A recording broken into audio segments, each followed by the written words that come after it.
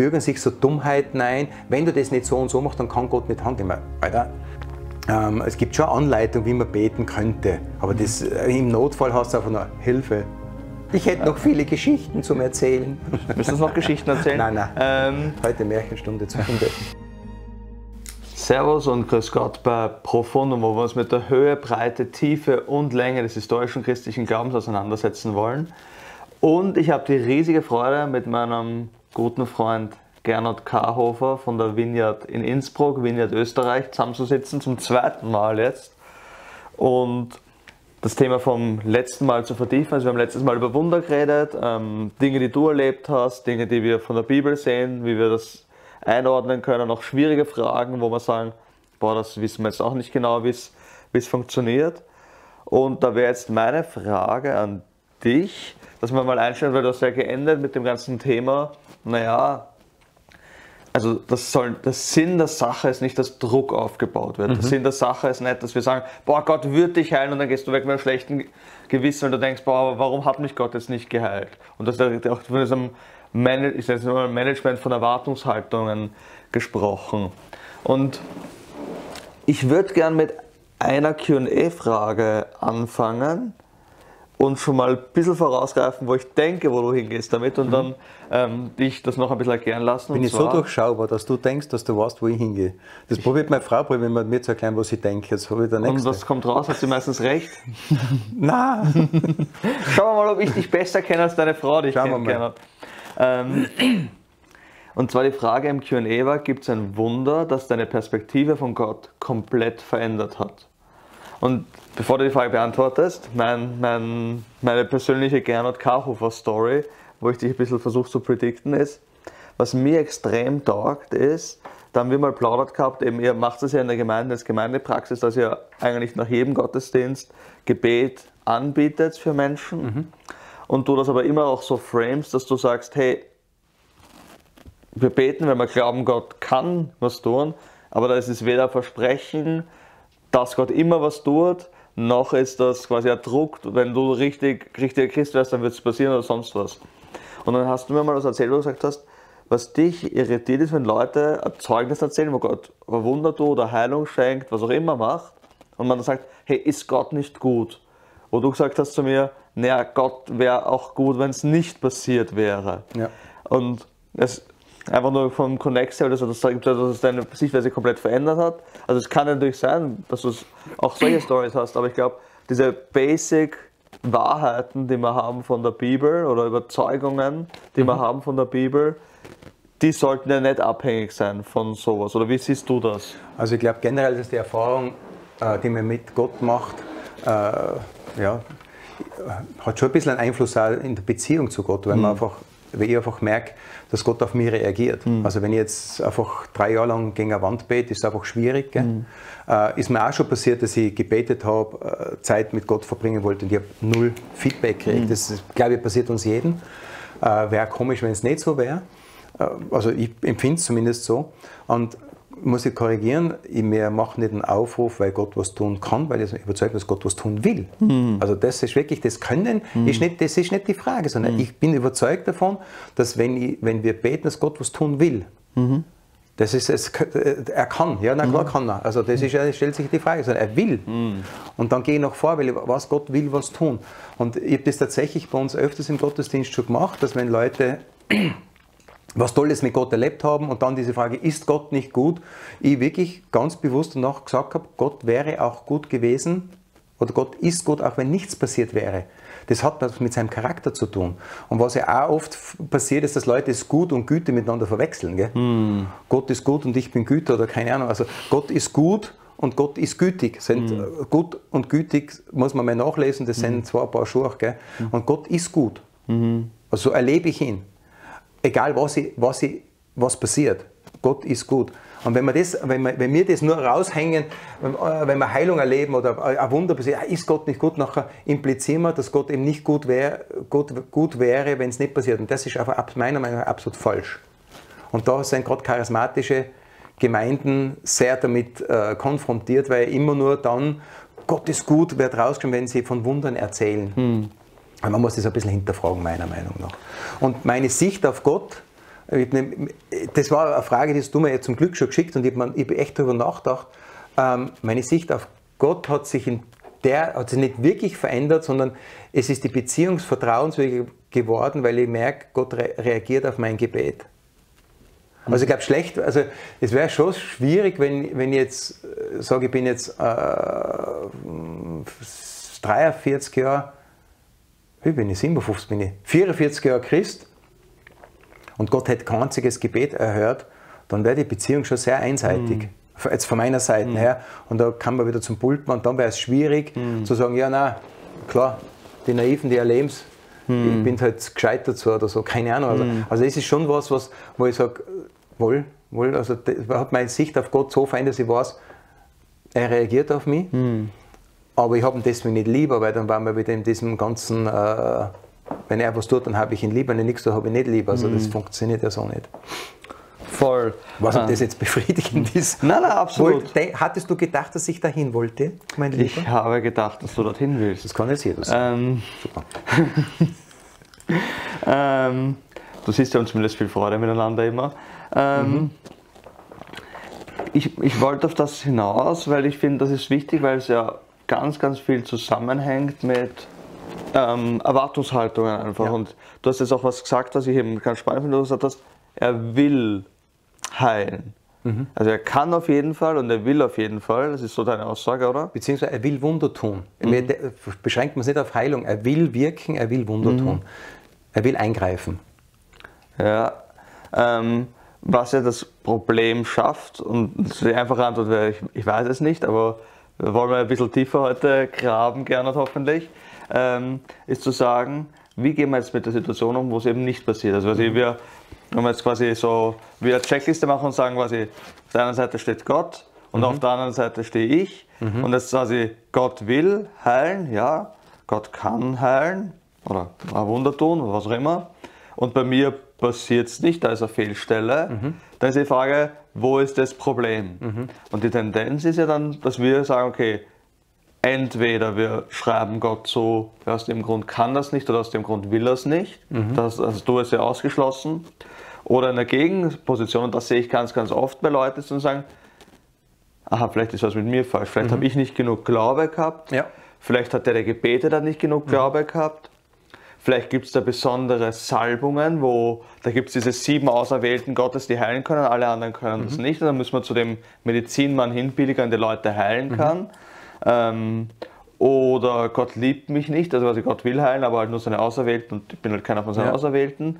Da gibt es ja ganz, ganz viele pastorale Probleme, die sich da mhm. ergeben. Ich hoffe, du gestellst mehr als ein, ich weiß es nicht. Ähm, wie gehen wir mit dieser Situation um? Weil das ja auch für viele Leute sehr belastend ist. Und das letztes Mal am Ende auch gesprochen davon, dass du willst, dass jemand gesegnet weggeht, ja. mit einem guten mhm. Gefühl weggeht und das Gefühl hat, hey, Gott ist für mich, mhm. was auch immer da jetzt rauskommt. Genau, was tun wir? Ja, wer sich auf Gefühle verlässt, der ist halt verlassen. Mein, mhm. was willst du? Nein, es ist schon, es ist, äh, mein pastoraler Ansatz ist sehr überschaubar, aber das ist schon das, was ich auch erlebe, dass Leute frustriert sind, wenn sie äh, eine gewisse Erwartungshaltung haben, die wird enttäuscht, das ist ja ganz mhm. normal. Also das, glaube ich, muss man nicht schönreden, äh, wenn jemand äh, krank ist und nicht geheilt wird und weiß, er muss sich damit abfinden, dass er wahrscheinlich an Krebs sterben wird, drei Kinder hinterlässt, dass das jetzt also kein Jubelschrei mhm. loslässt, brauche ich jetzt kein Quantenphysiker mhm. sein und kein Raketeningenieur, mhm. also ist schon klar. Ähm, haben wir natürlich auch erlebt äh, und die Frage ist, wie, wie geht man mit der Situation mhm. um? Und ich denke, ein Ansatz ist, also die Bibel fordert uns aus, dass wir unauflässig beten. Mhm. Das ist schon mal ein ganz wichtiger Punkt für mich, dass wir wirklich im Gebet dranbleiben und weiter beten. Das zweite ist, ähm, natürlich hat es auch manchmal mit mir zu tun, dass ich Gott das gar nicht zutraue. Mhm. Also es ist schon auch manchmal die Herausforderung, glaube ich, dass Gott heilt? Mhm. Also wenn, jetzt, wenn, wenn, du jetzt krank bist mhm. und du sagst, kannst du für mich beten um Heilung, dann muss ich dich fragen, glaubst du überhaupt, dass Gott heilt? Mhm. Das ist immer eine Grundfrage. Weil wenn, wenn du sagst, nein, eigentlich nicht, dann haben wir beide ein Problem. Weil warum soll ich noch beten, wenn du eigentlich gar nicht glaubst, dass mhm. Gott heilt? Also das ist schon manchmal ein bisschen schwierig. Dann kann sein, zum Beispiel jemand, jemand äh, haben wir jetzt auch schon gehabt, raucht und raucht und raucht und raucht und hat ein Lungenproblem. Hm. Tja, und jetzt bete ich für eine Heilung, der raucht weiter, weil er ein Lungenproblem hat. Hm. Da wird es eng. Hm. Da wird es einfach eng. Hm. Oder jemand hat äh, Blutdruckprobleme und trinkt halt jeden Tag eine Flasche Whisky und sagt, komm zu mir am Sonntag, kannst du für meinen Blutdruck beten. Das ist meine Frage, möchtest du nicht einmal mit Alkohol aufhören? Also mhm. es hat schon, es ist mehr als wir nur, Gott will nicht. Mhm. Sondern es geht mehr, gibt es Umstände tatsächlich, mhm. die, die, die, die mich beeinflussen in dem. Oder, das kennen wir alle, diese selbsterfüllenden Prophetien, wenn das Fenster offen ist, dann wäre ich krank. Da brauche ich jetzt keine Quantenphysik. Das ja. ist so. Habe ich meine Jüngerschaft schon erlebt. Oder ich habe über Jahre eine Stirnhöhleneiterung gehabt, mhm. immer im Februar, März. Mhm. Und ich war in der Jüngerschaftsschule und denke mir so, boah, scheiße, jetzt kommt wieder Februar, jetzt kriege ich sicher wieder Stirnhöhleneiterung. Und jemand mhm. kommt zu mir und sagt, darf ich, das, darf ich das im Namen Jesu brechen über dir? Mhm. Du redest dir das ein. Mhm. Und seitdem habe ich das nicht mehr. Also tatsächlich, ich habe über Jahre Schlosser gelernt und immer im Februar war das so, wir haben draußen gearbeitet, auf Baustellen, es war Zugluft und, und, und ich, ich habe Stirnhöhleneiterung gehabt. Also immer wieder. Und da war für mich ganz klar, wenn Februar kommt, habe ich Stirnhöhleneiterung. Das war so, es passiert. Mhm. Und in der Jüngerschaftsschule ist jemand gekommen und das mitkriegt. Mhm. Und dann ist mir das mal aufgefallen, wie, wie, wie viele Blödheiten man sich eigentlich schon einredet. Auch. Oder anderes Beispiel, wir haben jetzt für eine junge Frau gebetet, hat Knieprobleme. Und der erste Eindruck, den ich gehabt habe, war, ist das Problem mit deiner Familie? Mhm. Und sie sagt mir, ja, meine Mama hat das Gleiche. Und du hast vorher das Video, das, äh, die Nachricht kurz gehört, mhm. wo der Mann von ihr sagt, die Hauptschmerzen sind weg, aber wir sind noch dran, da gibt es noch was anderes. Also manchmal mhm. sind es auch Prozesse mhm. mit, mit, mit, Heilung. Ähm, und wie gesagt, jetzt, mein, ein guter Freund von mir, der liegt jetzt mit Leukämie im Krankenhaus und und das betrifft mich wirklich. Also, ich habe das vor kurzem vor vorn gesagt, und mir sind fast die Tränen gekommen, mhm. weil der Frau und eine Tochter. Ich, ich weiß, Gott kann ihn heilen, ich weiß von meinem Empfinden, Gott will ihn heilen, äh, aber jetzt muss man, vielleicht ist das jetzt ein blöder Ansatz, gell? aber es ist nicht das Schlimmste für einen Christen zu sterben. Gell? Hm. Es ist das Schlimmste für einen Nicht-Christen verloren zu gehen. Hm. Ich glaube, wir haben da manchmal auf Heilung, wir hacken da viel zu sehr herum dass wenn es nicht passiert, er mich nicht liebt und bla bla bla. Die Bibel sagt ganz klar, wenn wir in die Ewigkeit eingehen, da wird es keinen Schmerz, kein Leid und kein Geschrei geben. Also in der Ewigkeit sind wir geheilt. Mhm. Aber warum es bei uns manchmal nicht passiert, so wie wir es bei der ersten Episode darüber geredet haben, dass Gott mich geheilt hat und äh, nicht geheilt hat und ein Jahr später das Gleiche wieder, die Annette betet eigentlich das Gleiche, ich bete, Gott heilt mich, mhm. ich kann das wirklich nicht erklären. Ich kann das nicht erklären. Das ist jetzt was, wo, wo ich manchmal einfach auch selber anstehe und, und dann auch Gott fragt, warum. Mhm. Ich habe jetzt noch nicht die, die, die, clevere Antwort, aber es hat Familiengeschichte, es hat so, so, so wie gesagt, selbsterfüllende Prophetien. Leute glauben gar nicht, dass Gott heilt, Leute haben einen, einen schlechten Lebensstil. Also es gibt ganz, ganz viele Komponenten, die einfach manchmal zusammenkommen. Aber dass, wenn eine Mutter mit drei Kindern über Nacht plötzlich, und das ist passiert, kenne jemanden, mhm. äh, junge Familie, die Mutter fällt tot um. Mhm. Drei kleine Kinder. Gehirnstau. Also da, da, da, da hackelt es mir komplett mhm. aus. Ähm, Entschuldigung, da hackelt es mir wirklich mhm. komplett aus, wenn man sagt, also das verstehe ich nicht. Nee. Und das ist, muss man, ich weiß schon, das ist, ich weiß es nicht, das ist nicht die Antwort, die du hören willst, aber es gibt schon manchmal die Sachen, wo man sagt, da stehe ich an. Da stehe ich jetzt wirklich an, weil wir haben gebetet, wir haben gefastet vielleicht mhm. sogar. Mhm. Gott lass sich nicht den Arm um dran, mhm. aber wir haben gefastet, wir haben gebetet, wir haben ihn gefragt, wir haben Glauben gehabt. Und manchmal verwechseln wir, glaube ich, auch das, äh, vielleicht ein blödes Beispiel ist, aber ein Bekannter von mir kommt zu mir von einer anderen Gemeinde und sagt, ich habe gerne, ich habe nächste Woche eine Gerichtsverhandlung und ich habe drei prophetische Worte gekriegt, Gott wird mir, also der, der, ich werde freigesprochen. Hm. Und er kommt am Dienst und heulend zu mir und sagt, ich bin verurteilt worden, obwohl hm. ich prophetische Worte gehabt habe, hm. dass er freigesprochen wird. Und der wollte sich wirklich von Gott abwenden. Mhm. Und dann haben wir darüber geredet und gesagt, weißt, Menschen verkennen manchmal gute Gedanken, mhm. gute Ideen, äh, Wünsche mhm. mit dem, was Gott sagt. Mhm. Also dieses Geistunterscheidung, was sagt Gott, was hätte ich gern, dass er sagt. Also ich denke, dass wir da einfach immer nur sehr am Limit sind zu hören, was will Gott wirklich mhm. sagen. Oder ich wünsche, dass das freigesprochen wäre. Mhm. Und dann sage ich, ich und dann verkaufe ich es vielleicht nur christlich, weil es mhm. gut klingt. Ich habe den Eindruck, und du wirst dort freigesprochen werden. Und dann wirst du aber verurteilt. Mhm. Wem sei Schuld ist es? Ich meine, ich kann es immer Gott in die Schuhe schirmen, die Schuld. Tatsächlich. Mhm. Und wir leben in einer gefallenen Welt, mhm. wo es Sünde gibt und wo es Krankheit gibt. Und wir leben in einer Welt, wo das Reich Gottes jetzt da ist mhm. und noch nicht da ist. Und das ist, glaube ich, die Spannung, die wir manchmal einfach aushalten müssen mit dem Jetzt und noch nicht. Das ist, äh, da, auf den Punkt kommen wir dann vielleicht mhm. noch mit der Gegenwart Gottes, wo wir schon Sachen erlebt haben, wo, wo, wo Leute schmerzfrei sein und und und und gehen raus und merken, die Schmerzen sind wieder da und das ist keine Heilung passiert, sondern nur die Gegenwart Gottes gespürt. Mhm. Und da glaube ich, da, da ist es manchmal nicht so einfach. Voll. Ähm, du hast gerade mehrere Fässer aufgemacht, die ich dich nachschauen möchte, was da dahinter ist. Fässer. Erstes Fass, was du aufgemacht hast, ist, ähm, da möchte ich kurz ausholen mhm. und einfach dich fragen, ob das hilfreich ist, vielleicht weil du davon geredet, dass ja, Heilung nicht das ultimative Ziel ist, ähm, körperliche Heilung. Ähm, und was ich da spannend finde, ist ja, dass das Neue Testament das Wort Wunder gar nicht verwendet. Mhm. Also es gäbe ein Wort für Wunderhandeln. Mhm. Das Neue Testament verwendet, also die Evangelien verwenden fast durchgängig das Wort Zeichen. Mhm. Ähm, was ja ein Zeichen ist etwas, was worauf hinweist, mhm. nämlich auf etwas, was größer ist, was quasi, das ist kein Ultimatives. Mhm.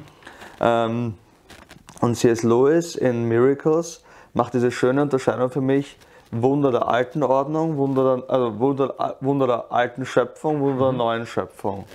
Ähm, Wunder der alten Schöpfung wären zum Beispiel Lazarus oder ein Blinder wird geheilt. Mhm. Also der Blinde wird geheilt, das ist großartig, das macht einen riesen Unterschied für den. Ja, ja. Ähm, Gott sei Dank, oder ein Gelähmter wird geheilt, oder Lazarus ist tot und ist wieder lebendig. Ähm, und C.S. Lewis sagt das in Wunder der alten Schöpfung, wo der alte Körper wiederhergestellt ja. wird. Was ja auch großartig ist und was einen riesen Unterschied macht. Aber, sagt C.S. Lewis, der Blinde, der Gelähmte und der Lazarus, die werden wieder krank sterben. werden und mhm. wieder irgendwann sterben. Mhm, genau. Also der Fokus muss eigentlich auf die, auf die Wunder der neuen Schöpfung sein. Und Neu, Wunder der neuen Schöpfung ist dann, wo quasi, das ist ja auch schon wenn das Wort Reich Gottes, Reich Gottes hier und jetzt anbricht. Mhm. Nicht nur im quasi, ich sehe in einen Vorgeschmack, der quasi das, was jetzt hier ist, heilt, sondern was, wo schon Himmel hier auf Erde kommt. Ja. Also C.S. Lewis nimmt zum Beispiel, wenn Jesus auf Wasser wandelt. Wir werden nicht ertrinken in der neuen Welt, sondern anscheinend ist das möglich, wenn Jesus durch eine Mauer durchgeht. Ähm, und ich werde da, und es, da sind dann oft meine charismatischen Freunde skeptisch bei dem, was ich jetzt sage. Schau mal, was du dazu denkst, wo ich sage, ja, ich glaube, dass Gott jedes, also ich glaube nicht, dass Gott will und Gott kann, sondern ich glaube auch, dass Gott immer tut. Mhm. Indem ich dann quasi diese, für mich diese Unterscheidung mache und sage, ja, entweder tut es an der alten Schöpfung, also entweder macht er Wunder in mir, wo ich geheilt werde, wo instant was passiert oder auch nicht instant, aber etwas passiert, jemand wird geheilt, von Schmerzen befreit, wie auch immer.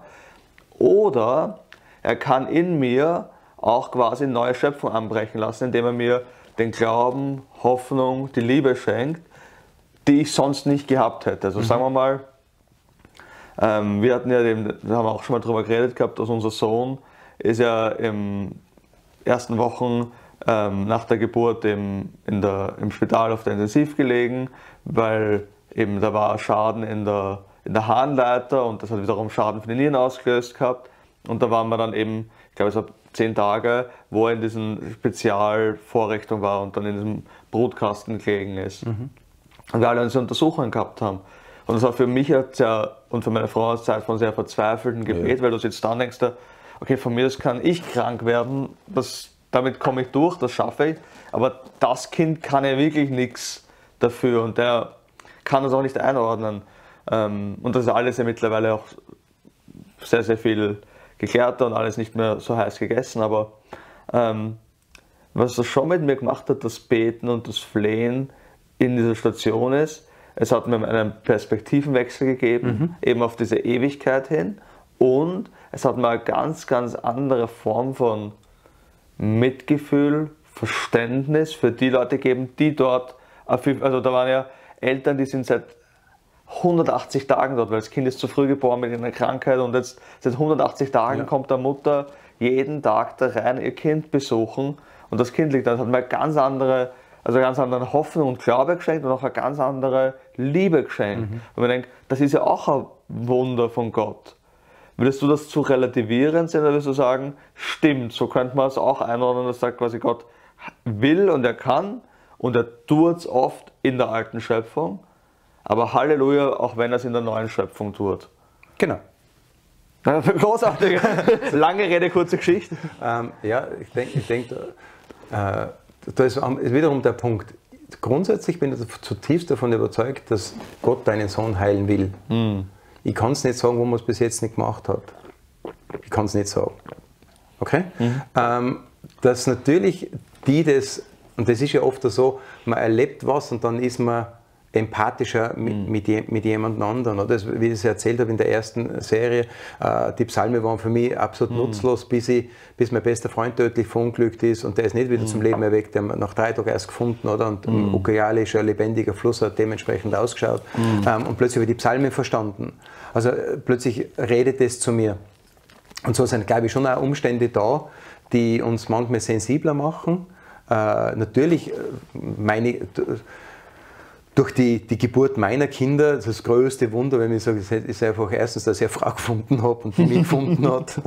und immer noch bei dir ist. Immer noch bei mir ist. Und das zweite Wunder ist wirklich, wenn, wenn du siehst, wie, wie, wie die Kinder auf die Welt kommen, wobei bei mir waren dreimal Kaiserschnitte, also ich war nie mhm. bei der Geburt dabei, von dem her kann ich nicht mitreden. Aber wie dann die Kinder da sind und so, das ist schon ein Wunder für sich. Macht natürlich dann auch was mit dir, dass du selber Vater bist mhm. und dann auch mit anderen Vätern, wenn die Kinder krank werden, wenn was passiert. Und meine Kinder haben auch wirklich, wirklich wirklich schlimme Unfälle mhm. gehabt, oder? Wo du plötzlich dann, äh, und wo keine Heilung passiert ist. Äh, einer meiner Söhne hat sich die Zähne ausgerissen, äh, schon die, die, die, die, zweiten, mm. und hat jetzt äh, Implantat drinnen. Mm. Also das macht was mit einem. Mm. Haben wir gebetet, da ist nichts passiert, aber ich erwarte, dass Gott ein Wunder tut. Und ich bin immer nur davon überzeugt, wenn Gott eingreift, kann das passieren, dass die Implantate so drinnen sitzen, als wenn es eigene Zähne wären. Haben wir von anderen Leuten schon gehört. Also gibt es viele Perspektiven. Gell? Und ich würde einfach nicht aufgeben, für Dinge zu beten, einfach weil ich weiß und weil ich eben viele Wunder erlebt habe. Ähm, und das, für mich, das allergrößte Wunder, das sagt auch die Bibel, ist, wenn Menschen zu Jesus kommen. Das mhm. allergrößte Wunder. Da wird der Bald im Himmel gefeiert. Wenn Menschen mhm. sich entscheiden, Jesus nachzufolgen, wird der Bald im Himmel gefeiert. Das ist das größte Wunder, was es gibt, wenn jemand erkennt, dass er ein Sünder ist und Jesus braucht. Und mhm. das ist eine Überführung durch den Heiligen Geist, oder? Und das andere, das andere ist einfach für mich trotzdem immer wieder schwierig, weil ich kann das in dem Moment nicht nachempfinden, was, was du und die mhm. Verräter da durchgemacht habt mit einem, mit einem Junior. Ähm, natürlich ist dann mehr Empathie da, aber das wäre jetzt genau das Gleiche. Gott hat das zulassen, damit du empathischer wirst. Also das ist für mich Schwachsinn. Das, das, das, das wollte ich hinaus, genau, das, das wollte ich hinaus, weil das fand ich furchtbar. Das sowas. ist Schwachsinn. Ja, ja. Weil es wäre ungefähr das Gleiche, wenn ich sage, ja, nein, ich habe ein tolles Auto und äh, mein jüngster Sohn möchte sich ausborgen und dem brauche ich jetzt die Bremsen aus, damit er ja weiß, wie es ist, ohne Bremsen fahren können. Was für Schwachsinn. Also, äh, sondern wir leben in einer gefallenen Welt, wo diese Dinge passieren, wo wir aber nicht wissen, worum es jetzt genau mittrifft, aber wir leben in einer gefallenen Welt. Aber Gott schickt es jetzt nicht, damit der, der Gernot Zeilinger und seine liebe Frau Farida endlich wissen, wie Empathie mit anderen Eltern ist, wo die Kinder das finde ich, darf ich, ganz, ganz kurz einmal, ich finde das übel für mich. Darf ich kurz einmal, ich ja? finde das so, so, so, so zentral, was du gerade sagst. Und ich möchte, wenn die Zuhörer, also dass viele Gescheite sagst, aber wenn sie nichts anderes mitnehmen, ich halte das für so zentral, ähm, dass du das, auch, das hast du auch gestern, also er sagt, Gott will heilen, Gott kann heilen. Das gibt mir in der Baseline jetzt, weil von allen sagen quasi, Krankheit, ist nie, Krankheit und Tod sind niemals die Freunde von Gott. Also da ist 1. Korinther 15 ganz, ganz klar, der letzte Feind, der auch noch unter Gottes Sieg ähm, seine Niederlage erlebt, ist der Tod. Und mhm. da haben wir in der Auferstehung den, den Ding gehabt. Und das finde ich so wichtig, Böses nicht erklären. Also ich kann nicht sagen, ja, das wirst du haben, weil du hast das gemacht. Oder genau. Gott wollte bestimmte das und das damit lernen. Also dass, dass ich dieses, diesen Tun und Ergehen zusammenherrscht, also diesen also Verzwecken vom Bösen ja. ist immer etwas Böses, sozusagen, weil Gott nicht will, dass wir krank und geschädigt und sonst was sind. Das ist ja nicht Teil von Gottes Plan in der Welt, will ich davon ausgehen. Also ich finde das so wichtig, dass du das sagst. Ja. Also es gibt diesen Tun-Ergehen-Zusammenhang zu wissen, gerade also was wir wissen, wenn man raucht, kriegt man potenziell eher Lungenkrebs und wenn du das ganze Leben lang Stress hast, wirst du Magengeschwüre kriegen. Das und wenn du nur die von Fastfood ernährst, dann wirst du nicht Blatt, Blatt und wirst nicht Spitzensportler werden. Ähm, ja. Ich kriege mal sicher böse Nachrichten wegen Fettshaming jetzt gerne. Ähm, aber da ja, müssen wir durch. Da muss man durch. Aber das gibt gewisse Sachen, die man, aber, sie, aber du kannst nicht, also das sind ja immer natürliche Tun und, ja. und Ergehen Zusammenhänge. Aber wir können nicht sagen, bestimmt wollte Gott dir diese Krankheit schicken als Strafe für das und das halte ich für sowas Gefährliches. Und ich bin fasziniert, wie viele Christen diesen Gedanken haben, implizit, selbst wenn sie es nicht, nicht, nicht so aussprechen würden. Ich meine, grundsätzlich, wenn ich in Österreich 140 auf der Autobahn fahre, muss ich damit rechnen, dass ich ein, ein Ticket kriege. 140 geht, geht es meist noch aus mit den 10%, oder? Gibt es nicht so, so einen Spielraum? Beim 100 wenn immer. ähm, aber das ist wirklich jetzt genau das Problem. Mhm. Äh, wir haben schon Ursache und Wirkung, mhm. glaube ich das schon, aber, aber nicht, Gott schickt dir das, um dir was zu lernen. Also da muss ich sagen, dann hätte ich die Bibel echt falsch verstanden, mhm. vor allem das Neue Testament. Weil es Jesus ganz klar, gehabt, ganz klar sagt, wenn du den Vater um Brot bittest, wird er dir keiner Steiner geben. Also das, mhm. also das ist für mich richtig, das ist eine Theologie, die ist für mich schwer nachvollziehbar. Aber ich weiß, dass sie herumkreist, äh, aber wie gesagt, wenn ich jeden Tag oder jeden zweiten Tag eine Flasche Whisky trinke, muss ich mich mit 50 nicht wundern, wenn ich einen Blutdruck von 175 bis 120 habe. Oder, ja, keine Ahnung was. Äh, dass ich das aber haben kann, ohne mhm. das zu haben. Ein guter Freund von mir ist an Lungenkrebs gestorben, hat nie geraucht. Mhm. Ja, äh, ja, ist so. Also das, aber dass der Raucher halt potenziell da gefährdet ist, das ist, glaube ich, eher klar. Voll. Ja.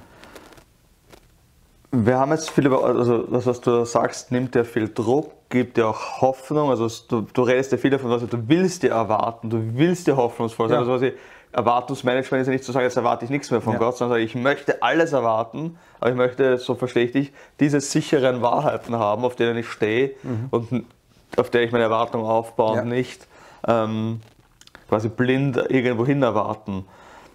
Und dann hatten wir eine Frage im QA und die finde ich wichtig jetzt in Einleitung, wenn wir jetzt auch rübergehen zu anderen Punkten. Nämlich die war im QA die Frage bei Instagram, ist sie reingekommen, wie betet man richtig für Heilung?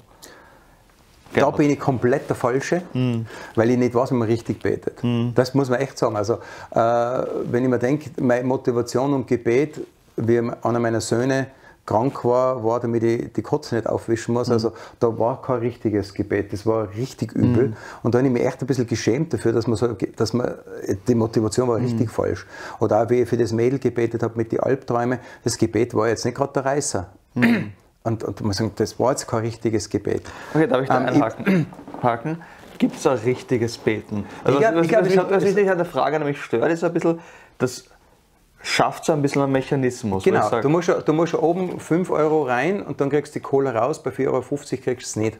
5 Euro für Cola, ein bisschen teuer. Aber egal, irgendwo alles. findet man was. Ja. Äh, am Flughafen. ähm, also das ist genau jetzt wieder das, oder?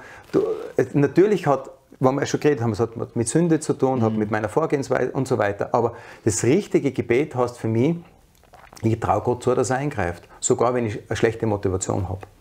Das ist, das ist, das ist eine Grundhaltung. Ich, wenn ich bete, dann gehe ich davon aus, dass Gott mir hört.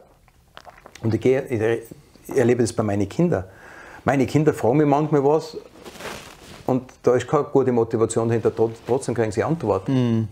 Also das ist ja. ja bei Gott so. Also äh, Gott er vergleicht sich als Vater und wenn ich jetzt ein Vater für meine Kinder bin und schaue, wie meine Kinder manchmal motiviert sind, ich will ihnen ja was Gutes tun. Ähm, aber ich, ich, ich, reagiere bei meinen Kindern nur dann, wenn sie so und so und so reden, in dem und dem Moment. Herr Papa müssen Sie, glaube ich, sagen, oder? Hm? Herr Papa müssen Sie sagen vorher. Ja, das haben wir früher so gehabt, wie gesagt, wenn die Kinder schreien, muss die Frau gehen, und wenn sie sehr geehrter Herr Vater rufen, dann gehe ich. Aber das hat sich leider nie bewahrheitet und hat auch nicht funktioniert. Also mit dem Herrn. Nein, aber das ist jetzt wieder genau das, was ist, was ist ein richtiges mhm. Gebet. Ich meine, klar, es gibt äh, tatsächlich, das nennt sich Gebet à la carte. Wir haben mhm. das einmal so, das ist von der Vineyard Speyer, das hat der, der Reinhard Rehberg, das hat der Pastor, die haben das, das, so wie mir, das natürlich übernatürlich, die haben so ein bisschen, wie, wie, wie, wie, wie geht man in ein Gebet rein, oder? Äh, klar, äh, man nimmt sich einmal Zeit. Wir machen das zum Beispiel, wenn wir für jemanden beten, ähm, es gibt schon Anleitungen, wie man beten könnte, aber das, äh, im Notfall hast du einfach nur Hilfe.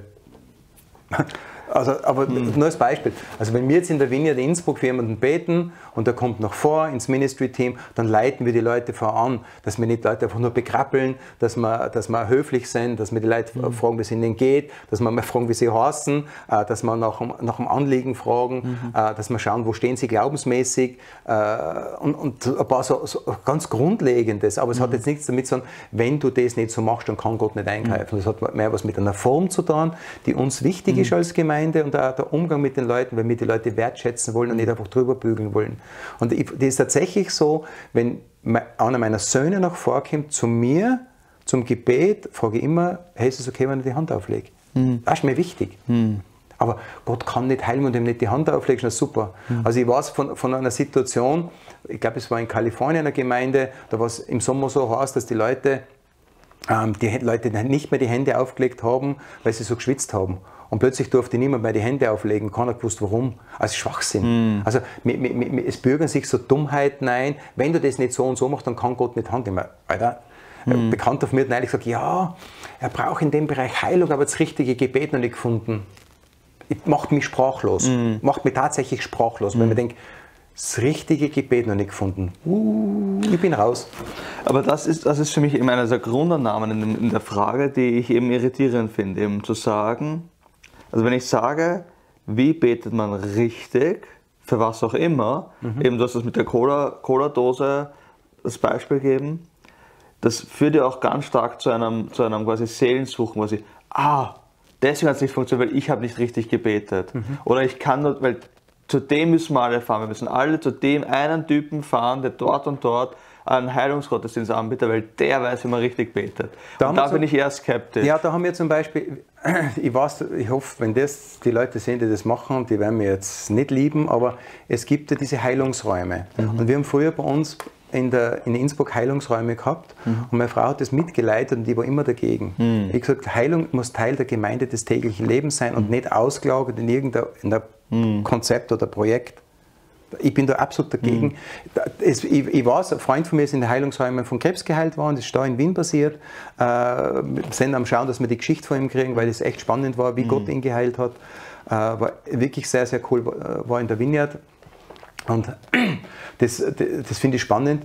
Aber für mich ist ganz klar, Heilung oder Wunder hat immer für mich mit Gemeinde zu tun. Sobald ich das auslager, habe ich immer das Gefühl, ja, das sind die Spezialisten. Und da bin ich dagegen, weil das ist was, was bei uns in der Vineyard ganz wichtig ist. Und das wäre schon bei uns immer wieder Segen, weil zu uns in die Gemeinde kommt und bei uns im Gottesdienst ist immer Sonntag um 17 Uhr. Ähm, in Innsbruck. In Innsbruck, natürlich nicht. Ähm, nein, es ist so, dass oft ich leite Leute im Gebet an und dann gehe ich. Mhm. Weil ich nicht will, dass die Leute eben, es kommen, ja, kannst du nur für mich beten, weil, sag ich mal, schau, da vorne ist das Ministry-Team. Mm. Ja, aber ich, nein, da vorne ist Ministry, ich bin jetzt einfach raus. Mm. Das sind die Leute, die jetzt für die beten und das ist mir wurscht, ob der ein Jahr gläubig ist oder zehn Tage oder mm. Weil es ja Gott ist, der heilt. Ist, Gott ist der heilt und wir erleben das. Und wie gesagt, das mit dem, wie betet man richtig, ich glaube, Aufrichtigkeit ist das Wichtigste. Mm. Aufrichtig. Das ist eines vom Wichtigsten, dass ich aufrichtig bete und auch irgendwo erwartet, dass Gott was tut oder mm. ihn einmal herausfordert. Mm. Und sagt, ich, Herr, mach du einfach ein Wunder. Ja, also das ist genau das, was... Es ist schwierig, wenn ich wohin gehe und sowieso nicht glaube, dass das passiert. Mm. Überrascht ist dann, wenn es passiert, haben wir auch schon erlebt, ähm, aber das ist dann ein anderes Thema.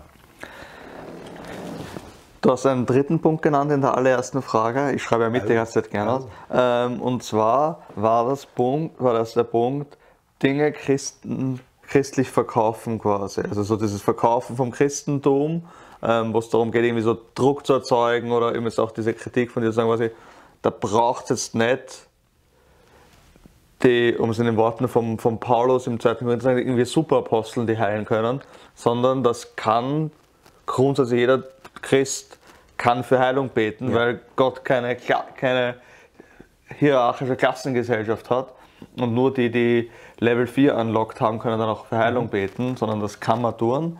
Ähm, es ist aber so, dass gerade im Bereich Heilung ja nicht nur dieser Druck und Erwartungshaltung, vielleicht auch geistiger Missbrauch passiert, sondern dass da ja offensichtlich, da kann man ja auf alle möglichen Dokus auch finden, immer wieder Betrugsgeschichten passieren, Geschichten passieren, wo sich Leute bereichern, wo Leute Sachen verkaufen. Das ist einer der Grund, Skepsis, die Leute der charismatischen Bewegung entgegenbringen, ist ja nicht, der nette Vineyard-Pastor von nebenan, ja. sondern die Geschichten von irgendwelchen Leuten, die offensichtlich reich werden oder mit negativer Absicht oder Macht sich ansammeln, weil sie hier etwas verkaufen, wo es vielleicht mehr wirkt wie ähm, bestell dir jetzt deine Heilung, schick 1000 Dollar ein für das und das. Mhm.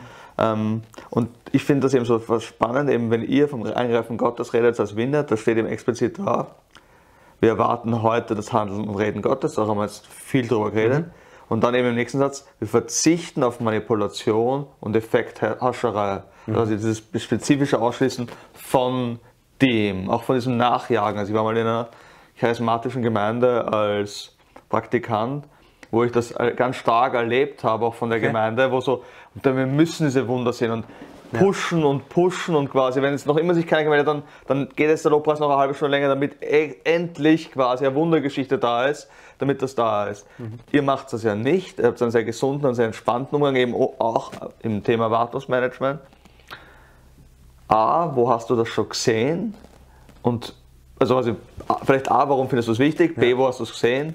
Und C, wie macht das ihr damit gut, gut funktioniert? Also ich merke das schon, also ich bin jetzt in ein paar Monaten, in ein paar Wochen bin ich in einer Pfingstgemeinde oder in einer Pfingstgemeinde eingeladen zu predigen über Heilung.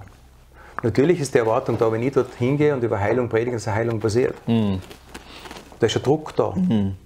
Jetzt die Frage ist, wie gehe ich mit dem Druck um? Mhm. Äh, ist mir egal? Nein, ist mir nicht egal, weil ich will, dass Gott wirkt. Mhm. Und ich war, und das passiert immer wieder, dass Gott mhm. äh, äh, wirkt. Gerade eine lustige Geschichte. Ich war vor nicht allzu langer Zeit in einer Gemeinde und ich habe den Eindruck gehabt, da sitzt eine Frau da, die heißt Helga. Mhm. Da waren 120 Leute. Mhm. Und äh, ich soll der Frau sagen, Gott sieht dich. Mhm. Und, die, und die denkt man so, ich bin Gast da, das kannst du jetzt nicht bringen was tue ich denn, wenn keine da hockt, die Helga Haus? Das ist echt blöd, oder? Und das ist ja bei mir, bei uns in der Gemeinde auch und so, dass, dass, ich, dass ich einen Eindruck habe und dann sage ich das Verfahren und dann reagiert halt keiner, aber die Welt geht ja nicht unter. Ich habe mhm. einen Versuch gemacht, ich probiere auf Gottes Stimme zu hören und dann habe ich mich halt verhört. Mhm. Ich, ich mache jetzt kein Drama draus. Und dann sage ich das, ich habe den Eindruck, da hockt eine Frau da, die heißt Helga, ist jemand da, der Helga heißt. Dann sitzen zwei Frauen, genau, es waren über 120 Leute, genau hintereinander. Also mhm. zweimal. Und ich sage, ich habe einen Eindruck, eine von euch beiden, Gott sagt zu dir, ich sehe dich. Mhm. Und das war's. Mhm. Nix. Die haben, sich, die haben genickt und es war so. Gell? Mhm. Okay. Ich war schon mal froh, dass jemand da war und dass die hinter, nebeneinander gesessen sind, nicht so, weil dann hätte ich jetzt nicht gewusst, wen ich anreden soll. Also war für mhm. mich echt cool, dass das so ja. gewesen ist. Und danach kommt die Frau noch vor und erzählt, sie hat heute in der Früh gebetet und gesagt, ich möchte einmal, dass du mich beim Namen nennst. Mhm. Und Gott hat mich verwendet dafür. Mhm. Da ist jetzt keine Manipulation und gar nichts mhm. dabei. Ich habe jetzt auch nicht der Frau irgendwas auf den Kopf zugesagt, es war einfach nur das, was mir, mir, wichtig ist, dass Leute, wenn sie in eine Gemeinde gehen, dass sie ermutigt werden. Mhm. Das ist mir das eine. Und das, das andere mit Manipulation habe ich eigentlich selber auch schon erlebt, dass Leute mich umschmeißen wollten. Also äh, das erste Mal, wo, das war in die, boah, das war echt glaube, es waren die 80er oder 90er, also ich bin schon so alt. Also es war Anfang der 90er, war in einer Gemeinde gewesen und da hat einer für mich gebetet und, ich, und hinter mir sind Leute gestanden zum Auffangen und mhm. der hat nicht aufgehört und ich mir gedacht, weißt du was, ich lasse mich jetzt einfach umfallen. Mhm. Und dann hat er aufgehört zu beten. Ich finde es unmöglich. Mhm. Dass ein Erfolgserlebnis sein muss, dass jemand umfällt, wenn gebetet mhm. wird. Da war dann noch ein paar lustige Geschichten dazu, aber, aber das war so, das habe ich mhm. selber erlebt, wie Manipulation einfach komisch, komisch mhm. ist und erst wenn ich mich umfallen lasse, äh, oder, um, um, oder wenn Leute kommen, dass sie so umschmeißen, mhm. das ist jetzt nicht unser Stil. Also mhm. äh, wir haben das auch erlebt, dass eine Frau zu mir kommt von einer anderen Gemeinde, die wollte einen Dienst vorstellen. Also Gernot, ich möchte den Dienst vorstellen, aber du musst mir versprechen, dass bei euch am Sonntag niemand umfällt. Dann sage ich, dann bleibst du daheim. Mhm. Ja, wie? Sag ich, ja, ich, ich, wir richten doch jetzt nicht den Gottesdienst nach dir, ob jemand umfällt, nicht umfällt. Was mhm. sind wir denn? Ja, ich weiß nicht, was ich tun soll, wenn jemand umfällt. Sag ich, mach's bei meinen Kindern, steig einfach drüber. Also pragmatischer mhm. Ansatz. Natürlich, äh, bei uns fallen ab und zu Leute um, aber mehr oder weniger, äh, ohne dass sie jemand groß berührt. Ich weiß vor allem Gottesdienst, äh, das ist jetzt, da waren wir, da waren wir in anderen Räumlichkeiten und ich habe am Anfang meine Jungs am Arm gehabt und es war zu Pfingsten.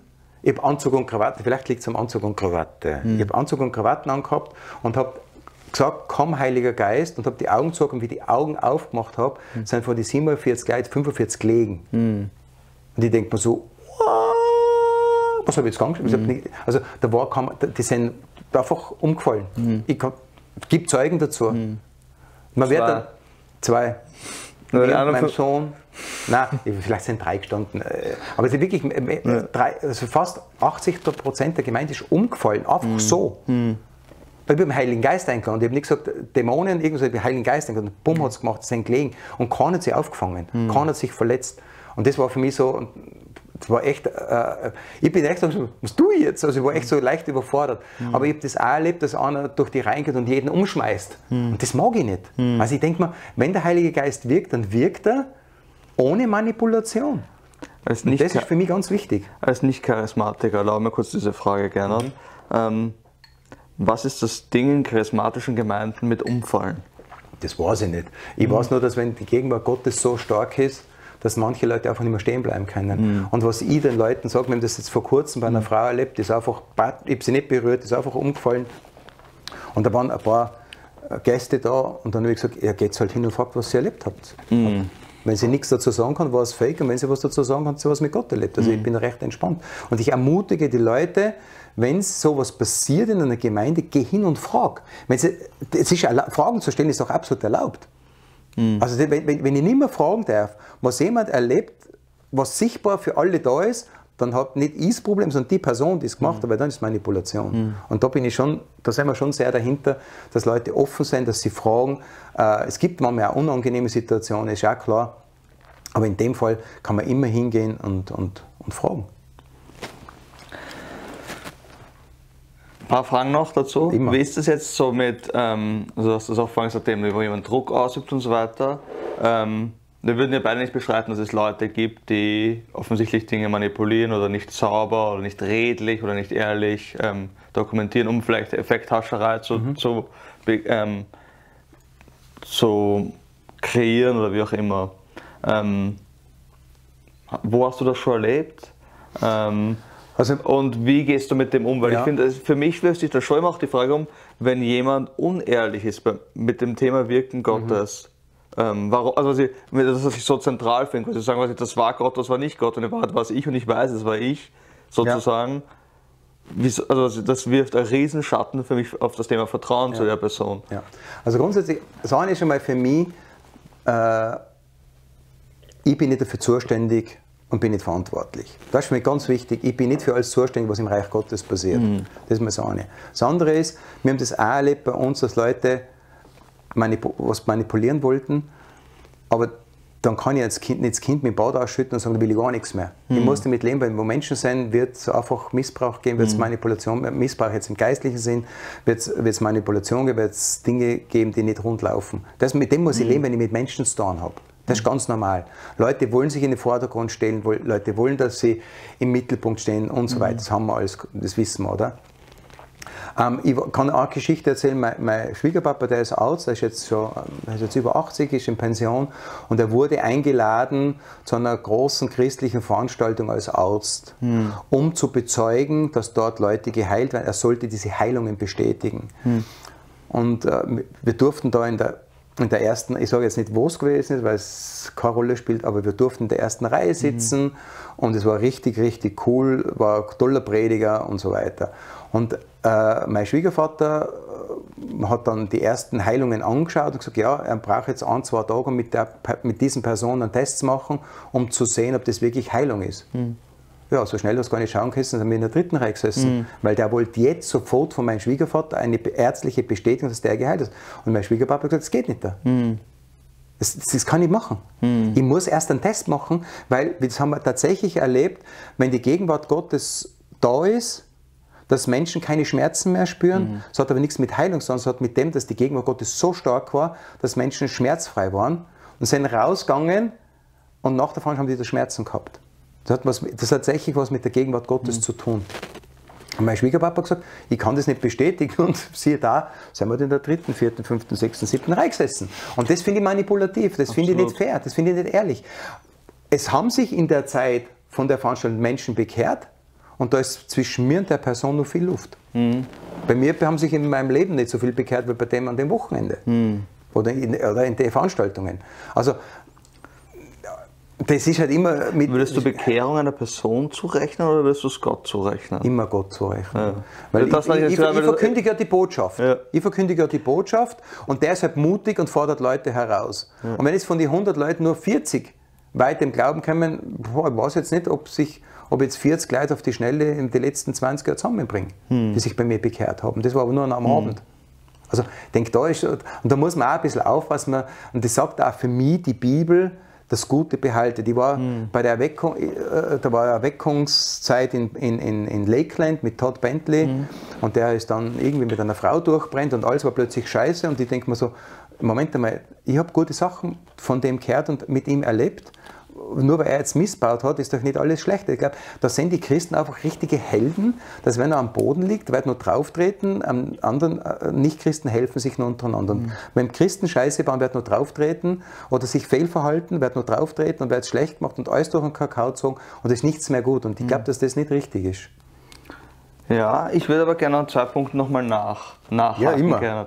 Ähm, das eine ist, also wir haben jetzt geredet eben über über, das ist also, wir haben also von Wundergeschichten geredet, dann haben wir gesagt, okay, es gibt Wundergeschichten, die kann man jetzt noch nicht bestätigen, weil quasi da wirkt, die Präsenz Gottes ist da, die Anwesenheit Gottes ist da, aber mhm. das ist noch keine nachhaltige Veränderung.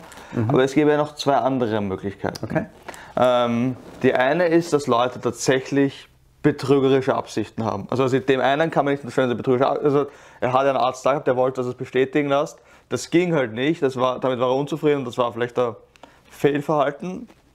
Ähm, aber jetzt, ich das mal, das, da gab es einen, einen, gibt's einen Typen, der ist ähm, Atheist und Magier und macht so Tricks. Und der hat zum Beispiel einmal einen Heilungsgottesdienst mhm. abgehalten, wo er gesagt hat, es gibt einfach so ganz einfache Tricks, die er quasi beobachtet hat bei so Heilungsevangelisten, mhm. die man so einfach manipulieren kann, wo er sagt, ähm, zum Beispiel, wenn ein Blinder geheilt ist, also es ist ganz, ganz einfach, eine Heilung eines Blinden nachzustellen. Okay. Weil der, der typische Blinde, oder die meisten Blinden sind sehbehindert. Das heißt, sie sind nicht literally blind, ja. sondern sie haben einen sehr, sehr eingeschränkten Gehrade. Sondern das vorgezeigt quasi, du sitzt in einem riesigen Raum und dann sagt er zu dem, bist du blind? Und dann zeigt er es und dann sieht das blind und dann sagt er, und jetzt folge meiner Hand nach. Und dann quasi geht er der Hand an, quasi in einem großen Raum, Halleluja, der, ist, der sieht, der ist geheilt worden, ich habe gerade für den gebetet, weil er kann ja der Hand nachgehen. Natürlich kann er, weil der Radius von dem ist vielleicht so kurz, aber der sieht ja trotzdem ja. etwas. Ähm, oder eben, dann hat er auch dieses Ganze mit den, mit den Beinen nachgedacht. Also das ist ganz oft halt Kameraperspektive, wo offensichtlich jemand die Kamera von da nach da führt und dann wirkt das so. Das heißt mhm. nicht, dass es nicht genuine Wunder, sowohl ja. Blindenheilungen genuin gibt, als auch Beinverlängerungen genuinen geben kann. Ja. Wo ich mir denke, das kann es ja auch geben. Also wie gehe ich mit jemandem um, der quasi offensichtlich sich daran bereichert, falsche Geschichten zu erzählen. Da gibt es jetzt nicht so, also wie gehe ich mit dem um? Und ja, ich, das ist das eine. Ich habe noch einen zweiten. Ja, einen also ich glaube grundsätzlich, ich kenne jetzt persönlich niemanden, ich kenne nur Geschichten von Geschichten, dass Leute Geschichten gehört haben. Also ich muss jetzt echt sagen, ja. äh, ich, kann das nicht, ich kann das nicht, auch nicht nachempfinden, dass jemand sowas macht, mhm. ganz ehrlich nicht. Ich, meine, ich auch, auch nicht, schon, also ich finde es auch komplett find, weird, also weil ich an Gott glaube, denke mal so. Ist, warum muss ich das manipulieren? Das ist, aber wie gesagt, ich, ich merke das schon, mhm. äh, wenn du für was eingeladen wirst, hast du den Druck, dass was passieren muss, mhm. weil sonst bist ja du der Loser. Und da gibt es eine nette Geschichte von John Wimber, John Wimber ist übrigens der Gründer von der Vineyard-Gemeinde, von der Vineyard-Bewegung, ist vor, ist vor einigen Jahren gestorben. Und da gibt es eine ganz nette Geschichte, so, wenn es sich nicht so zugetragen haben sollte, aber die Geschichte finde ich trotzdem irgendwie cool.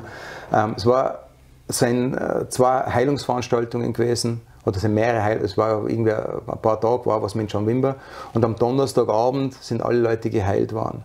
Alle, die mhm. zum John noch, die vorgegangen sind, also nicht nur durch den John, sondern durch andere Menschen, die gebetet haben, hat, hat Jesus wirklich alle geheilt, mhm. durch den Heiligen Geist, wie auch immer. Am nächsten Tag ist niemand geheilt worden. Mhm. Und einer von den Mitarbeitern geht zum John und sagt, was haben wir heute falsch gemacht? Mhm. Und der John sagt, du verstehst es nicht. Mhm. Was verstehe ich nicht? Ich war gestern nicht der Held, ich bin heute nicht der Loser. Mhm.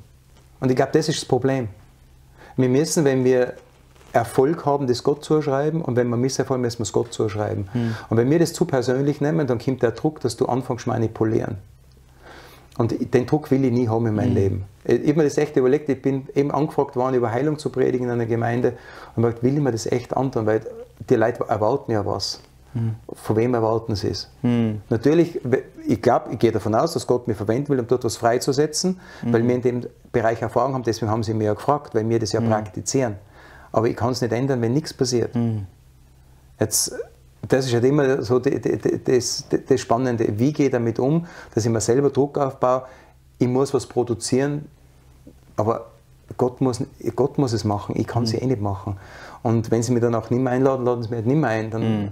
Ich weiß, dass Gott heilen will, ich weiß, dass Gott was freisetzen will, aber ich kann es nicht erzwingen. Mhm. Und ich glaube, dass wenn du den Druck hast, was machen zu müssen, von vorne bist ausgeliefert und du vielleicht manches auch gar nicht bist, du willst ja Gott ja verherrlichen mhm. mit dem, aber ich glaube, dass wenn Betrug passiert, also wie gesagt, ich kenne auch niemanden. Ich, ich kenne ja. immer nur Geschichten von ich, Leuten, ich fand die das, Geschichten diese Doku von dem Typen interessant, ja. weil der eben... Ja. Ich, ich habe das ja. schon mal gehört und ich, ich glaube das auch. Das ist ja, ich meine, es gibt ja die Geschichten, wo der eine an, an, an, an äh, über, über, über Facebook war das, der über seine Mitarbeiter über Facebook was über Leute recherchiert aus der Gemeinde und er hat dann so getan, wie wenn er das gewesen wäre. Mhm. Da gibt es, glaube ich, gibt's von Marius Bühlmann, von der Vineyard Bern, der hat einmal äh, mit Andreas de Megel, glaube ich, die haben da was gemacht über Manipulationen in mhm. Gemeinden und die haben das irgendwie so einmal erlebt da äh, und haben das nachher, mhm. haben den auch zur Rede gestellt bei einer Konferenz. Also es war schon, also mhm. es gibt schon möglich, aber ich selber tatsächlich, äh, wir haben auch schon von Leuten gehört, die Geschichten angefangen zu, zu erzählen haben und am dritten Tag hat er schon Tote auferweckt und es ist nie was, also die mhm. liegen dann einfach, die, mhm. aber ich weiß nicht, warum die Leute das machen, ich weiß es wirklich nicht. Voll, also das ist, genau, voll, finde ich, finde ich, finde ich wichtig. Wir haben, möchte für die letzten fünf Minuten nochmal einen riesen Fass aufmachen, Gernot. Ähm, weil es gibt ja noch eine dritte Möglichkeit. Also es gibt die Möglichkeit, also es gibt vier Möglichkeiten. Gott hat genuin geheilt. Das haben wir bis jetzt gehabt. Dann haben wir die Möglichkeit quasi, es ist ein kurzfristiger Effekt der Präsenz Gottes, aber es ist ja. nicht eine Heilung, sondern es ist einfach, da erlebt jemand etwas mit Gott. Dann gibt es die dritte Möglichkeit, das ist ein Fake. Mhm. Und die vierte Möglichkeit, und die ist jetzt schon, finde ich, herausfordernd, ist ja, es gibt ja auch Heilungen in anderen Religionen. Ja. Oder es kann ja theoretisch, als, als christlicher Theologe gesprochen, das haben wir ja im Neuen Testament, mhm. haben wir ja Geschichten von Dämonen, die heilen. Mhm. Mhm. Ähm, und quasi, du hast ja diese sehr entspannten Zugang, den ich super und den pragmatischen, den ich super entspannend finde, weil du sagst, manchmal macht das, manchmal macht das nicht. Und wenn es, aber die, die Existenz von Heilungsgeschichten im Neuen Testament durch Dämonen, sagt er, dass, das war noch das Wort Unterscheidungsgabe mhm. ähm, gebracht, dass das ja auch wichtig ist. Wie gehst du mit dieser vierten Möglichkeit um? Haben wir jetzt ganz witzigerweise mhm. haben, wir, haben wir auch erlebt in mhm. unserer Gemeinde mit einem jungen Mann, äh, der äh, sich vor kurzem bekehrt hat mhm. und der hat dieses Fatigue-Syndrom ähm, das, ist, das ist diese, dieses, äh,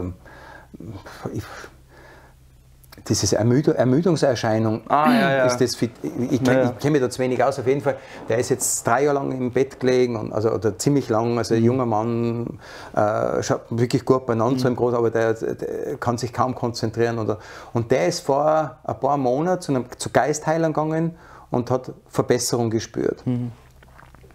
Ähm, und dann ist es irgendwie wieder schlechter geworden und dann äh, ist er, sind, äh, wenn ich mir das jetzt richtig, sind auch nur Depressionen dazugekommen. Mhm. Also wenn dämonische Mächte im Spiel sind, wenn wir glauben, dass es dämonische Mächte gibt, dann hat das natürlich auf Dauer keine positive Auswirkung. Es kann kurzfristig was passieren, aber langfristig kommt dann noch was anderes dazu.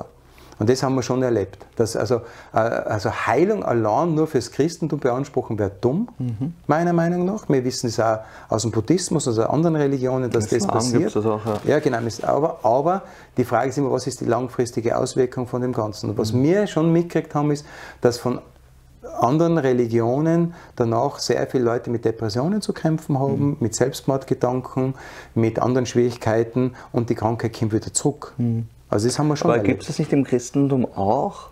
Also gibt es ja auch Leute, die, die scheinbar geheilt werden und dann vom Glauben abfallen und ja, aber das ist vom Glauben abfallen. Oder, ja, oder quasi oder ja, andere ja, Struggles haben. Ja, aber das ist ja eine persönliche Entscheidung. Gell? Also, mhm. Ich denke, die kann man niemandem abnehmen. Ich meine, wir haben das tatsächlich erlebt, dass Leute geheilt worden sind und dann sich vom Glauben eigentlich verabschiedet haben. Ja, jetzt mhm. bin ich nicht dafür zuständig. Mhm. Ich weiß nicht, ob die Krankheiten zurückkommen sind, das mhm. weiß ich jetzt auch nicht. Ich weiß nur, wir haben einen älteren Herrn bei uns, der ist Anwalt, ist jetzt in Pension, der hat Gürtelrose gehabt und er ist am Sonntag nach vorgegangen zur Heilung Frau, junge Frau hat für ihn gebetet, er wurde instant geheilt von Schmerzen mhm. und am Dienstag sind die Schmerzen zurückgekommen. Seine Frau sagt zu ihm, die ist auch gläubig, du musst am Glauben festhalten. Und er betet und die Schmerzen sind seitdem weg, das ist jetzt im Jänner. Mhm. Und er hat bis heute keine Schmerzen mehr gehabt. Also wir wissen schon, dass Schmerzen zurückkommen können, äh, aber man sollte dann im Glauben festhalten, dass wirklich Gott geheilt hat. Aber wie gesagt, mit anderen Sachen, da kenne ich mich dann tatsächlich nicht ganz so gut aus. Ich weiß nur, bei dem jungen Mann ist das irgendwie schief gegangen, weil seit, wie gesagt, war bei Geisterheilern und jetzt sind Depressionen dahergekommen. Mhm. Also, das, also das habe ich jetzt bei Christen mhm. noch nie erlebt. Mhm. Danke dir gerne, das war super, super spannend mit dir. Ähm, ich hätte noch viele, viele weitere Fragen. Ich habe immer brav Notizen gemacht währenddessen. Ich hätte noch viele Geschichten zum Erzählen. Müssen Sie noch Geschichten erzählen? Nein, nein. Ähm, Heute Märchenstunde zu Ende. mit Onkel Gernot. Ähm, oder Opa Gernot. Nein, basteln irgendwie. Nein, basteln. ähm, abgesehen davon, danke dir Gernot, hat mich echt gefreut. Danke ich hoffe, auch. ihr habt Freude gehabt beim Zuhören. Ähm, wie gesagt, viele ich fand viele, viele spannende Gedankenanregungen. Wenn ihr Fragen, Gedanken dazu habt, schreibt es uns in die Kommentare, schreibt uns eine E-Mail an profundo.campusaustria.at. Ich leite das auch gerne dem Gernot weiter. Und ähm, ansonsten bleibt mir nicht viel mehr zu sagen, als äh, vielen Dank fürs Zuschauen. Danke. Bis zum nächsten Mal.